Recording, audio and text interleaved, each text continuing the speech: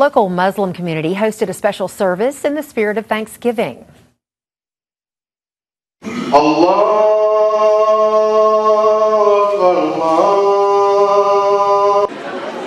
The Islamic Society of the Triplex hosted the annual event this year, and the theme is celebrating Thanksgiving with hope for a global community of brotherhood and peace. Those who attended the Thanksgiving service feasted on a Mediterranean dinner, and participants were asked to bring canned goods to donate to the Southeast Texas Food Bank and to participate in a monetary collection for some other place, an organization that helps people in need. Those who participated in the event say it's about unity and caring. We're brothers and sisters of one another. Before we had the religious labels distinguishing us, we had our common humanity uniting us. And that's what this is.